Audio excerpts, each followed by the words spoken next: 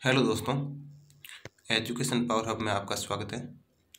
आज हम आपके लिए लेके आए हैं एसएसबी हेड कांस्टेबल कम्युनिकेशन की वेटिंग लिस्ट के बारे में। अगर आप हमारे यूट्यूब चैनल पर नए हो तो पहले सब्सक्राइब कीजिए, लाइक कीजिए, शेयर कीजिए, ताकि आपको SSB head constable communication waiting के बारे में तमाम जानकारी आपको मिलती रहे। वीडियो को लास्ट तक देखते रहिए देख देखते रहिएगा, जिससे आपको कंप्लीट जानकारी मिलेगी। तो हम ये बताएँगे कि एसएसबी हेड कांस्टेबल कम्युनिकेशन की वेटिंग कितनी आएगी और कब आएगी और हंड्रेड परसेंट आएगी। इसमें जो केस कर रखा था, चौबीस तारीख को, उसकी मेरे को जो अपने ग्रुप बना रखा है, उसकी पूरी कंप्लीट जानकारी नहीं मिली है। लेकिन जो हाई कोर्ट ने आदेश दिए हैं कि वेटिंग लिस्ट आएगी। तो जो अभिषेक चौधरी जी हैं, उन्होंने भी कुछ इतना कमाल किया नहीं है। और जो हिमाचल में जो बंदों ने तीन सौ छियालीस बंदों ने ज्वाइन किया है, उसमें से तीन सौ चौदह बंदों ने ज्वाइन कर लिया है और बाकी बत्तीस बंदे अभी ज्वाइन नहीं किए हैं। तो अप्रोक्सीमेटली पाँच दस मान लो और ज्वाइन कर लें तो पच्चीस बंदे तो कन्फर्म वहाँ ज्वाइन नहीं करेंगे। और इसी तरह जो बिहार में, सुपौल में चार सौ बंदे ज्वाइन करने थे। वहाँ करीबन सत्तर बंदे करीब ज्वाइन नहीं किए हैं। तो उसमें भी पाँच छः मान लो ज्वाइन कर लें। लास्ट डेट थी बीस फरवरी। उसमें भी अभी ज्वाइन नहीं किए हैं। तो ऐसे मान लो कि ज्वाइन करने वाला होता तो पहले ही ज्वाइन कर लेता।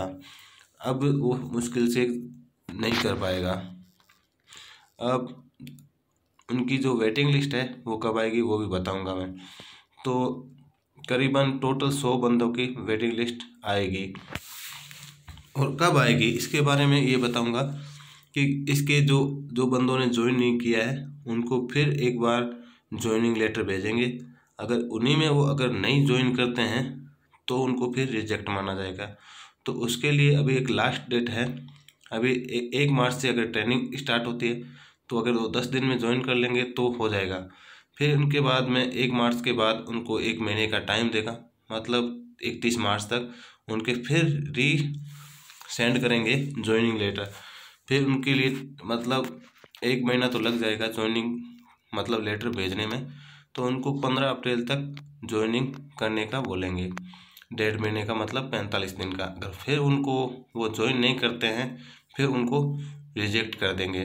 फिर आपकी वेटिंग लिस्ट वेटिंग लिस्ट में आपका करीबन पंद्रह अप्रैल को मान लो वो ज्वाइन नहीं करेंगे तो फिर वो एक्शन लेंगे, दस दिन और वेट करेंगे तो पच्चीस अप्रैल हो जाएगा।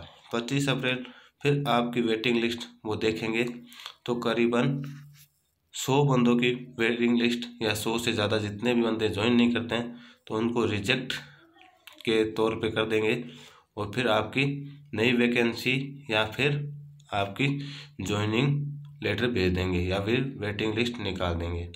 तो इस तरह मैंने बात भी की थी हेडक्वार्टर में तो उन्होंने यही बताया था कि अगर वो ज्वाइन नहीं करते हैं तो या तो वेटिंग लिस्ट निकालेंगे या फिर नई वैकेंसी निकालेंगे। इस तरह दोस्तों, अगर नई अपडेट के लिए आपको इसी चैनल पे जुड़े रहना है तो सब्सक्राइब कीजिए, ताकि अगर वेटिंग लिस्ट आएगी तो तुरंत आपको पहले मैं बता दूँगा। जय हिंद, जय भारत।